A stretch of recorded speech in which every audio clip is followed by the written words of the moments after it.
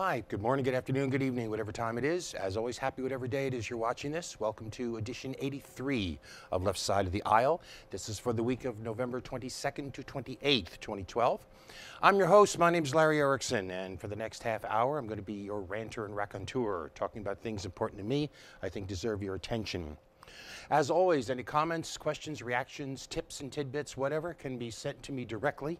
My email address is whoviating, W H O V I A T I N G, at AOL.com.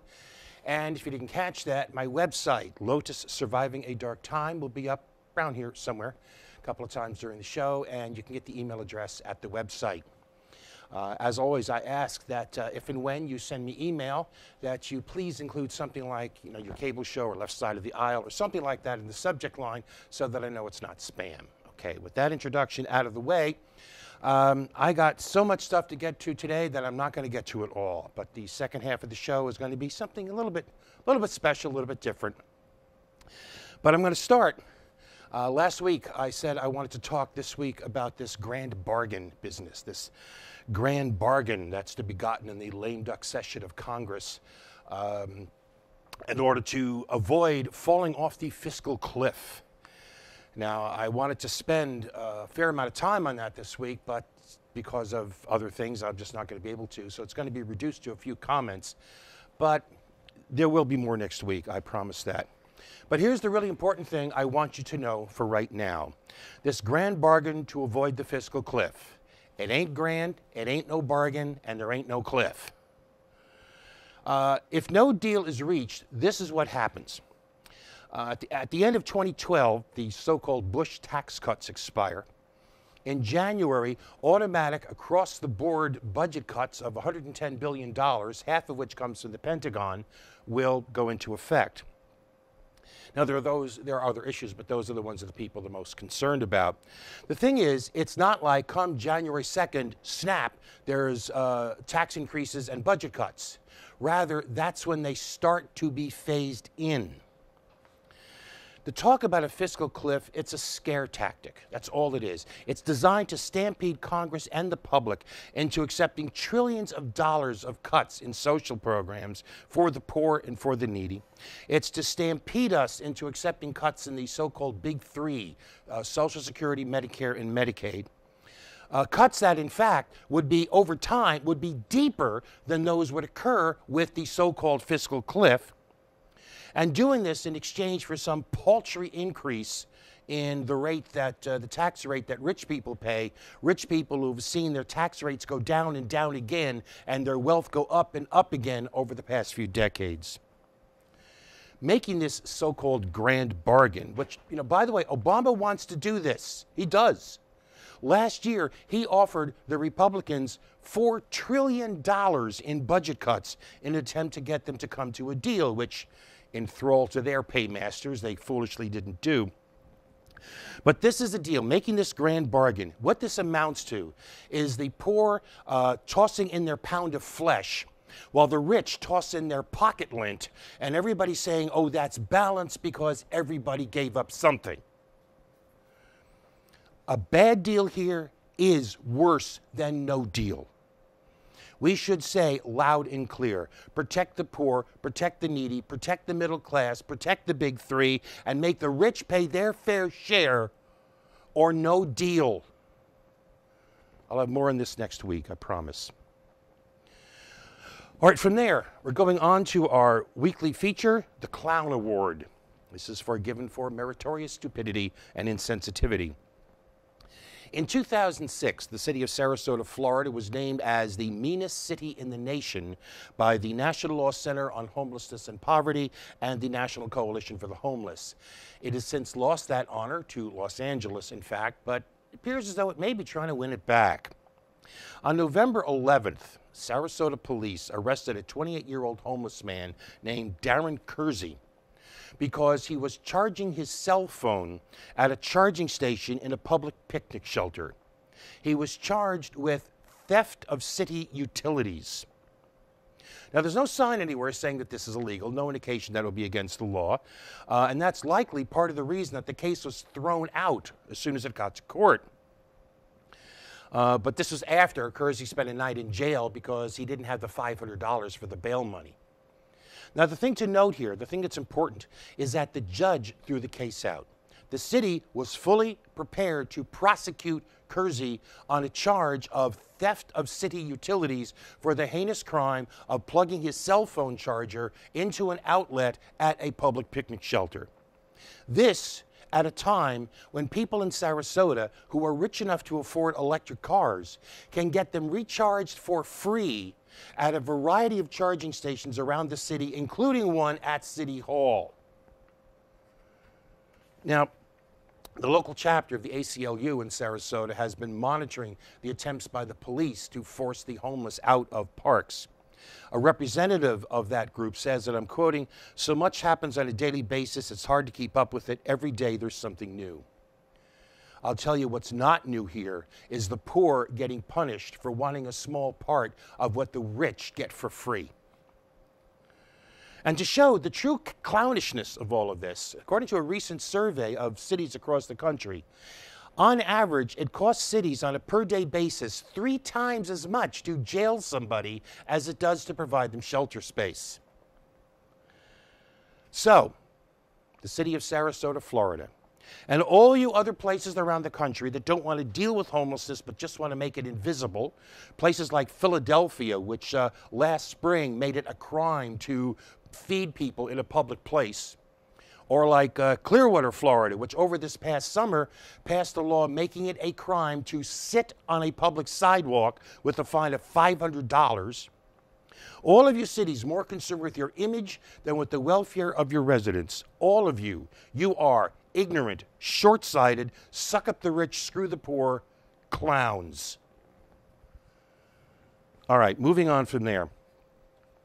Uh, this is something that could be uh, filed under the category unintentional humor. Unintentional humor is when something strikes you funny, um, even though you know it wasn't actually intended to be. By tradition uh, and by fact, uh, over the past several years, Black Friday, so called, has been the uh, busiest shopping day of the year. Now, uh, I always thought Black Friday was a funny was a funny name for it, but apparently this arose out of Philadelphia around 1960. The police there started calling the day after Thanksgiving Black Friday because of all the headaches it gave them with the increased traffic. Well, this Black Friday may prove to be, or may have proven to be by the time you see this, a black one for Walmart. Walmart, the nation's largest private, uh, private employer with over a million employees nationwide, the nation's largest retail chain, is having some problems of late. It's seen increasing challenges from labor organizations such as Our Walmart, which are responding to the concerns and frustrations of overpaid, underworked, exploited workers. Actions including uh, walkouts and uh, rallies at over a thousand Walmarts around the country are planned for the day after Thanksgiving. Now, Walmart pays notoriously low wages with little chance for improvement. Workers often start at little more than the minimum wage. Now, they can get a yearly increase based on a performance review, but the maximum possible increase is 60 cents an hour. Somebody could start at Walmart as an $8 an hour cart pusher and six years later still be making only like $10.60. And even those figures are misleading because Walmart makes a practice of keeping its hourly workers at below full time hours, keeps them as part timers, so basically, so it can skimp on the benefits it pays them. And on top of all of that, there is a wage cap on hourly workers, a wage cap of something under $20 an hour. That is the most you can ever earn at Walmart as a non manager at Walmart, no matter how long you work there, no matter how many positive evaluations you get. And it's not like the company can't afford to do more. In the third quarter of 2012, its profits are up 9% over the preceding year. It was raking in profits. Now, remember, not sales. We're talking about profits. It was raking in, profits at an annualized rate of over $14 billion a year. Meanwhile, it's also been revealed that Walmart may have used illegal bribery to uh, expand its operations in at least four countries Mexico, Brazil, China, and India. Okay, now what's the unintentional humor in all this? Walmart has filed an unfair labor practice complaint against the United Food and Commercial Workers. Walmart is alleging that the UFCW is responsible for the labor actions, labor actions which, and this is quoting their statement, have created an uncomfortable environment and undue stress on Walmart's customers, including families with children. Nowhere in this complaint does it dispute a single assertion the workers have made. So, Walmart, the company that bribes officials in other countries while allowing its U.S. workers such lousy pay and benefits that a significant number of them are on food stamps. While the company makes $14 billion a year, Walmart is claiming that it is the victim. And it doesn't get any funnier than that. All right. Uh, from there on to our other regular weekly feature, the outrage of the week. Now, I have something that I call the clock of history. This is the timeline of events, of any particular set of events in history. And uh, the thing is, in every conflict, in every conflict, every side wants the clock of history to start at a certain point, start with a certain event. The idea is that everything before that time, everything before that event is irrelevant. It doesn't count. Ignore it. Pay no attention to it. Every side, of course, wants to choose where the clock of history starts running at a point most advantageous to their argument. Now, this is true in all conflicts, particularly in the Middle East, particularly in the conflict between the uh, Israelis and the Palestinians. For the past week plus, the, the bombs and rockets have been doing their evil work um, in Gaza and in southern Israel, and there was talk, always talk, of a ceasefire. Now, as I say this, this is on Wednesday, as I say this, there is supposed to be a ceasefire in place. We'll find out how well that works, but there's supposed to be a ceasefire in place. But despite that, that there is a ceasefire, uh, there's something that needs to be said now. Many times it can be difficult to know when to start the clock of history. That's especially true in the tangled history of the Israeli Palestinian conflict. Sometimes, however, it's not. From late October into mid November, there was an exchange of fire between the Israeli military and uh, militants in Gaza, exchange of fire across the border.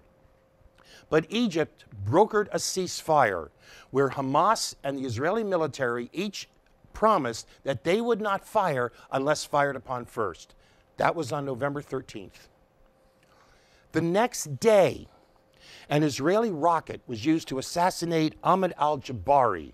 He's the military leader of Hamas. Something which, by the way, our media, for some reason, keeps forgetting to mention. Hamas is the elected government of Gaza. But an Israeli rocket was used to assassinate Ahmed al Jabari. The fact is, there was a ceasefire, and Israel broke it. There simply is no question about this. That's when the clock of history started for this latest cycle of bloodshed. That's when the death and destruction started. And so the death and destruction we have seen in this past week, and that we may well still see, this is Israel's fault. This is simply not arguable. Now, there's so much more that needs to be said about it. Really, really, really, really so much more, including things about our own government, shameful displays of fawning fealty to Israeli militarism. And I do intend to talk more about this next week. But for now, I want to leave you with this one thought. Sometimes it really is hard to tell just who is actually to blame for an outbreak of a cycle of violence. This is not one of those times. And we are taking a break.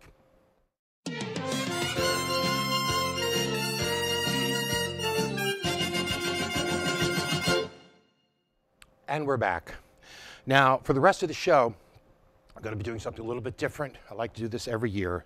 So, kiddies, gather around the campfire. Uncle Larry is going to tell you the true story of the first Thanksgiving. Now, there have been a number of places which have claimed to have had the first Thanksgiving, but when we say the phrase, we're thinking of an event that took place in Plymouth in the fall of 1621. So, yes, that's what I'm talking about. Now, the first thing to know, just a little bit of quick background of this. Uh, do you remember being taught in school how during that first winter, uh, none of the, the settlers that came in the Mayflower, that none of them would have survived if it had not been for the help of the friendly natives? You remember being taught that? It's not true. They didn't speak to a native till March. Now, the local natives, they were friendly and they were helpful, just not in the first winter, after that.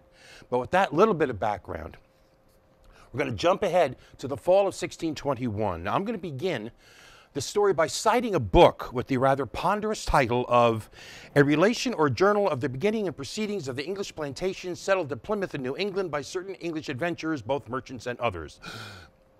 It's popularly known today as, by the less cumbersome name, Mourt's Relation. Now, in that volume, was published in England in 1622. There is a letter from Edward Winslow to a loving and old friend um, in England.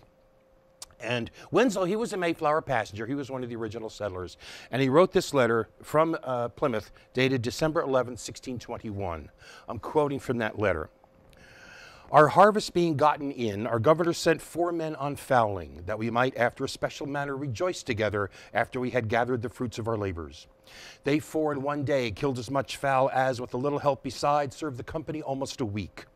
At which time, amongst other recreations, we exercised our arms, many of the Indians coming amongst us, and among the rest their greatest king Massasoit with some ninety men, whom for three days we entertained and feasted. And they went out and killed five deer, which they brought to the plantation and bestowed on our governor and upon the captain and others. And although it be not always so plentiful as it was at this time with us, yet by the goodness of God we are so far from want that we often wish you partakers of our plenty. Okay, got that? Here's the thing you need to know that is the only contemporaneous account of the first Thanksgiving that is known to exist. In fact, the only other even near contemporaneous account, at least so far as I know, uh, was, was written by William Bradford, who was another first comer, and Mayflower passenger. He was writing in the early 1630s, which means 10 or 12 years after the event. And he said, and I'm quoting him now, they began now to gather in the small harvest they had, and to fit up their houses and dwellings against winter, being all well recovered in health and strength, and had all things in good plenty. For as some were thus employed in affairs abroad, others were exercised in fishing, about cod and bass and other fish, of which they took good store, of which every family had their portion. All the summer there was no want, and now began to come in store of fowl as winter approached, of which this place did abound when they came first, but afterwards decreased by degrees. And besides waterfowl, there was great store of wild turkeys, of which they took many, besides venison, etc. Besides, they had about a peck of meal a week to a person, or now since harvest, Indian corn to that proportion, which made many afterwards write so largely of their plenty here to their friends in England, which are not feigned but true reports. Now, based on other references in these two sources, we can also say that this 1621 feast took place after September 18th and before November 9th. Most likely it was late September or early October because that would have been shortly after harvest. Okay? That's it. That's everything we actually know. Everything else is based on assumptions, interpretations, and guesswork. Some of it informed guesswork, some of it not. The first thing to realize that this was not a Thanksgiving, okay, as people at the time would have understood the term. And the period of Thanksgiving was a religious occasion, uh, set aside, a day set aside to thank God for some special and unexpected blessing. It would be done as the occasion for it arose, and to plan for one every year would have been thought a great presumption on God's intentions. It was what we had here instead was a very traditional, very secular, very English harvest feast. It was a tradition that if you had a good harvest, you would have a feast. And as part of that feast, you would invite everybody who had been helpful to you over the course of that year. And the natives had been helpful to the town, so the natives were invited. Now, it's true the settlers didn't have a good harvest. Bradford calls it small. But the fact is, they had a harvest. At that point, they could feel, yeah, we're going to make it. They could feel pretty confident that they were going to survive and this, this undertaking was going to survive, which is reason enough for a celebration. Now, as for the eternal question of what they ate, well, we don't know for certain because nothing is specified, but we can, we can make some good guesses. Uh, they almost undoubtedly had fish, specifically cod and bass. Waterfowl, such as duck and goose, uh, seems very likely, and probably, yes, they probably did have turkey. Uh, Bradford says, remember, they took many. Uh, they may have had deer. Bradford mentions venison. Uh, now, in the period, venison meant hunted meat, but that obviously does include deer. They may have well had deer. Uh, we don't know about the deer the natives brought, by the way. We don't know if that was brought soon enough to be butchered and prepared as part of the feast, or did they bring it later as sort of like presents to the leaders and a thank you for having been, you know, entertained and feasted for three days. Another possibility is lobster or other shellfish. Elsewhere in that same letter that I quoted, Edward Winslow says they were plentiful in the area. So were eels, which were popular among English people at the time. Winslow said they could take a hogshead in a night. Now, hogshead is a kind of cask that holds 63 gallons of liquid. And yeah, that's a lot. It may have been an exaggeration. Winslow was kind of like that. Now, more tentatively, they could have had a pie made of squash from the garden, sweetened with uh, dried fruits, which would have had to have been imported from England. Also, salads made from other stuff in the gardens is a good possibility, too. To drink, it was most likely mostly water. Winslow says their barley grew indifferent good, that is, like it was a so so crop. And there's no mention of hops. No hops, no beer, not much barley, not much ale. They might have had some wine which had been brought over with them from England and saved for a special occasion, but most likely it was mostly water. So, you know, that's pretty much it, kiddies. Not much to build a uh, whole mythology on, is it? But now, for the reason I actually bring this up, I bring this up every. I like to tell this story every year, right around Thanksgiving, uh, and this is why. Every year, around this time, without fail, I come across some revisionist history of the event. Years ago in grammar school, I, along with everybody else, was taught tales that roused images of noble settlers and savage natives. Now there are some who simply want to flip those adjectives to a tale of savage settlers and noble natives. We are regaled with tales of bloodthirsty uh, settlers and how Massasoit have actually had it argued that Massasoit brought 90 men with him to the feast because he was afraid without a massive show of force he might be kidnapped or killed. All of that is bunk, pure and simple bunk. In fact, relations between Plymouth and neighboring natives was actually quite good at the time and, were, and continued to be reasonably good for some decades. There were stresses and strains, yes, of course, but um, for the most part, they managed to keep together the peace treaty that was made in the spring of 1621. Now, things gradually got worse over the years. I won't get to all the reasons why because it's not important here. Uh, I will say, though, that one of the big causes was vast cultural differences over land. The natives did not have a concept of land ownership. The idea of owning land did not exist in their culture. But of course, owning land is an everyday concept to any European. So what kept happening was things like, for example, uh, some settler would, they thought, buy land from a native and then get very angry because the native didn't leave. Well, the, um, the thing is, the native thought they were selling the rights to share the resources of the land, and these new people were compensating them for the fact there's less to go around. What the settler thought they bought and what the native thought they sold were not the same thing. This kind of thing caused no end of conflict. Finally, irrevocably, that peace broke down. But that wasn't until 1675, more than 50 years after the first Thanksgiving. At that time, in the fall of 1621, native settler relations were actually rather good. In fact, the very next sentences, that Winslow letter I quoted about the first Thanksgiving, the very next sentences of that same letter are these. We have found the Indians very faithful in their covenant of peace with us, very loving and ready to pleasure us. We often go to them and they come to us. Some of us have been 50 miles by land in the country with them. Winslow also says that the other native leaders have made peace with Plymouth on the same terms as they made with Massasoit, as the result of which there's peace among the natives in a way that Winslow said had not been formally. Winslow also says, the same letter, we, for our parts, walk as peaceably and safely in the wood as in the highways of England. We entertain them familiarly in our houses, and they as friendly bestowing their venison on us. They are people without any religion or knowledge of God, yet very trusty, which means reliable, quick of apprehension, quick to understand, ripe witted, just. Now, that doesn't sound either like bloodthirsty settlers either eager to kill natives or like natives who are afraid for any contact with those settlers. Now, if you're still not convinced, consider this. In June of 1621, like three or four months before this event, the town felt it necessary to send a message to Massasoit asking him to restrain his people from coming in such numbers to the town. This is from Mourt's relation. This is another quote. This is what they told Massasoit. But whereas his people came very often and very many together unto us, bringing for the most part their wives and children with them, they were welcome. Yet we being but strangers as yet at Patuxet, alias New Plymouth, and not knowing how our corn might prosper, we could no longer give them such entertainment as we had done and as we still desired to do. In other words, they had to ask not so many natives to come because they couldn't be good hosts. Simply flipping who was an angel and who was a demon is trash. Neither of these people was either. Neither was a saint, neither was a devil. So I reject the revisionist history. In fact, I resent the revisionist history. I resent it first off because it's lousy history. It looks to, uh, to ideology instead of information. It looks to satisfy the demands of politics, not of scholarship.